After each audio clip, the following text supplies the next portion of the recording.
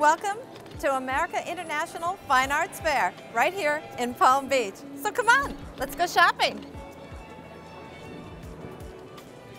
So we're going to start right here at this uh, magnificent art show. So tell me what we're seeing and looking at right now.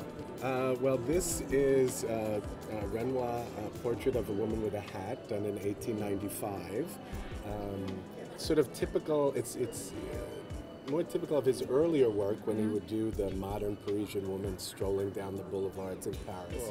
We have 20, over 20 Renoirs, which started as our inaugural show in our new gallery on Park Avenue 57th. Um, we just moved after 30 years on 57th Street. And so we decided to open a new space with a Renoir exhibition. It's the third Renoir exhibition in the company's history. Dr. Armand Hammer, who founded the gallery in 1928, did a Renoir exhibition in 1959. Uh, shortly after I started in 1984, we had our second Renoir exhibition, and in fact, one of the paintings in the show was in that exhibition.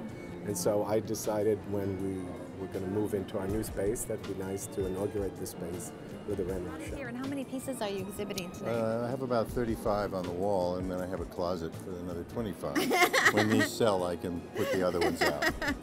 well, this has a very interesting history um, in the painting. The handwriting is that of a copy of George Washington. oh, And um, George Washington never fought a duel, but it's a challenge to a duel.